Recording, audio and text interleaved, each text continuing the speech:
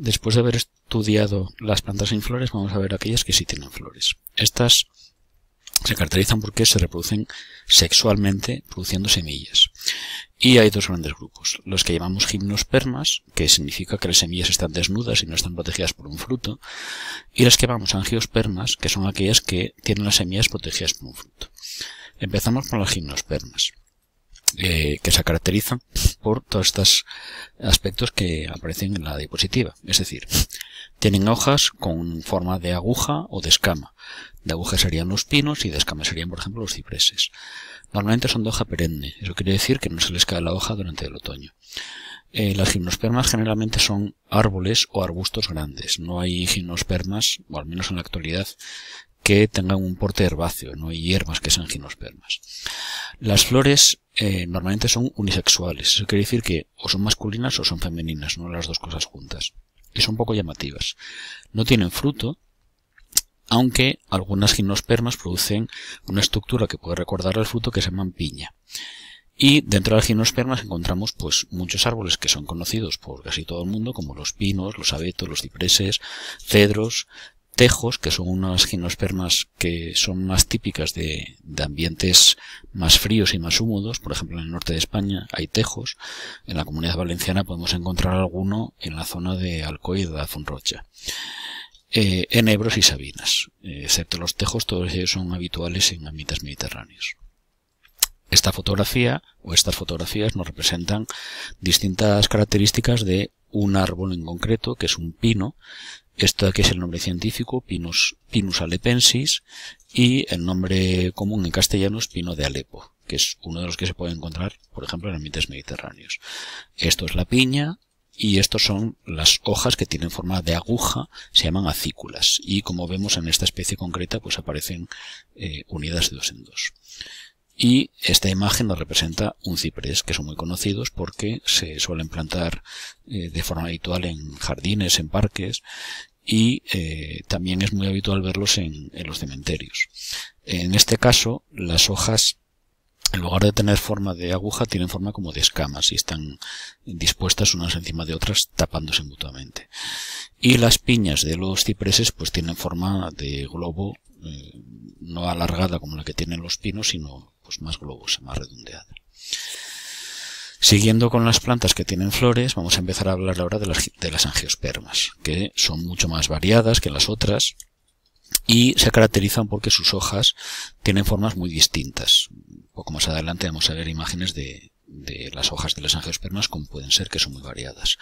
Pero generalmente son aplanadas y anchas, no tienen forma ni de aguja ni de escama. Las angiospermas generalmente son de hoja caduca. Eso quiere decir que durante el otoño pierden la hoja. Y podemos encontrar angiospermas que son árboles, que son arbustos y que son hierbas. Las hierbas no producen madera, son plantas que generalmente pues viven un año, a veces dos. Los árboles y los arbustos se producen madera y se distinguen eh, uno de otro pues el tamaño que alcanzan. Los árboles son más grandes y los arbustos pues pueden llegar a dos metros más o menos. En las angiospermas las flores son generalmente hermafroditas. Eso quiere decir que tienen los dos sexos juntos, la parte masculina y la femenina dentro de la misma flor. Y es muy habitual que tengan colores llamativos. No todas, pero muchas tienen colores que llaman la atención, porque muchas utilizan animales, generalmente insectos, para la polinización, que es uno de los pasos necesarios para la reproducción sexual. En las angiospermas, las semillas están protegidas por un fruto, que pueden ser de formas muy variadas, y ejemplos de angiospermas, pues eh, todos los que están puestos aquí. Todos los frutales son angiospermas, un cerezo, un almendro, un naranjo, eh, las gramíneas o los cereales, como el trigo, también es un angiosperma. Eh, muchas de las plantas que utilizamos para comer eh, como hortalizas o, todas, como los tomates o las patatas, pues también son angiospermas. Y plantas ornamentales o que nos llama la atención por el colorido que tienen, como las margaritas o las rosas, pues también son angiospermas. Lo que vemos aquí en esta, en esta imagen son la gran diversidad de formas que puede tener la corola de las flores de las angiospermas. La corola es la parte coloreada y sin entrar a describirlas todas vemos que puede haber flores con formas muy diferentes y también con distinto número de, piezas. A las piezas de la corola se le llama pétalos y simplemente para distinguir, por ejemplo, esta, la de las crucíferas que tienen cuatro pétalos y la de los claveles que tiene cinco. Ya vemos que el, borde del pétalo del clavel pues está como partido, esto se llama festoneado.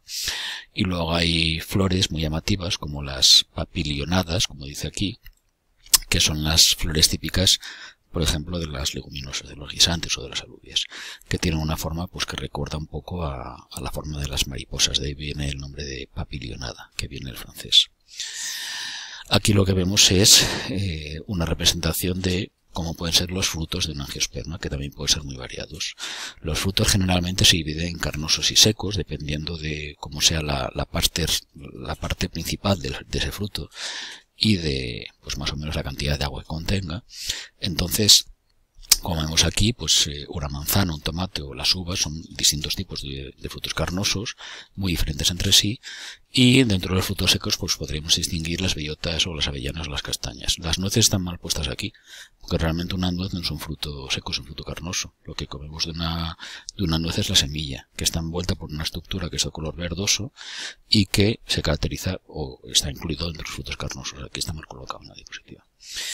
Y eh, en esta imagen vemos pues la gran variedad de formas que pueden tener las hojas, tampoco vamos a empezar a, describirlas todas, pero en general, aunque hay algunas que pueden tener forma de aguja, como esta de aquí, normalmente son más anchas que, en el caso de las ginospermas, con formas, como acabo de mencionar, pues muy diversas y muy variadas.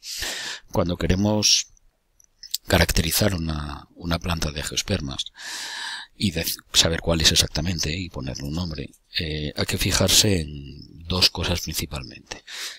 En tres sería lo mejor. Una de ellas es la hoja, pues ver la forma que tiene, la disposición dentro del, de las ramas y cómo están colocadas. Otra sería la flor y otra sería el fruto. Si no disponemos de las tres características a observar, pues hay que apañarse con lo que haya. Entonces, si tenemos flores, muy bien. Si tenemos hojas, bueno, puede ser un poco más complicado. Si tenemos frutos, mm, también es más complicado. Lo ideal es tenerlo todo para poder caracterizarlas. Y vamos a ver algunos ejemplos de plantas de angiospermas, pues que son importantes generalmente porque porque las utilizamos o bien como fuente de alimento o bien porque forman parte de nuestros bosques. Esto, por ejemplo, es un nogal. Y esto es la, una nuez que, como vemos, no tiene el aspecto que estamos habituados a ver, porque como decía antes, una nuez no es un fruto seco, es un fruto carnoso. Y esto que estamos viendo aquí es el fruto de la nuez. Esto sería el tronco y esto sería el porte general de, del nogal. Y esto sería más hojas. Esto es una carrasca, o también se puede llamar encinas, muy importantes en los bosques mediterráneos que están formados eh, o bien por este tipo de árbol o bien por pinos a veces mezclados. ¿vale? Las, las carrascas o las encinas son angiospermas y los pinos son ginospermas. Y en ambientes mediterráneos son muy habituales encontrar los dos. Eh, los frutos de las carrascas y de las encinas son las bellotas y esto es el, el trozo que queda de una bellota pegada al árbol cuando se cae el fruto.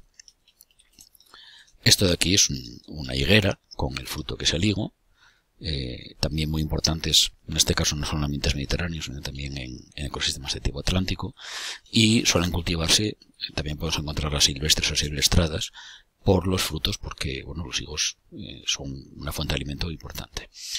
Y esto es la flor de un almendro, que pertenece a una familia que se llama rosáceas, como las rosas, y que eh, los almendros y todas las rosáceas en general eh, se caracteriza porque cuando el árbol llega a la primavera, eh, antes de sacar la hoja, saca las flores. Lo primero que vemos de un almendro es la, floración. Después le salen las hojas de las ramas, de las yemas que están latentes durante el invierno. Y finalmente, pues después de producirse la polinización y la fecundación, pues eh, este árbol pues da las almendras, muy importante en ecosistemas mediterráneos. Y finalmente, esto es un naranjo también muy importante en la comunidad valenciana por la producción de naranjas que, que son muy famosas en toda España y en todo el mundo. En realidad en todo el Levante se producen naranjas. Vimos que el, nombre es Citrusinensis se hace referencia a que el origen real de esta especie pues eh, es de China, aunque se empezó a cultivar eh, desde hace un montón de siglos en toda Europa y actualmente pues es un, un producto de cultivo muy importante en la economía eh, agraria de todo el levante español.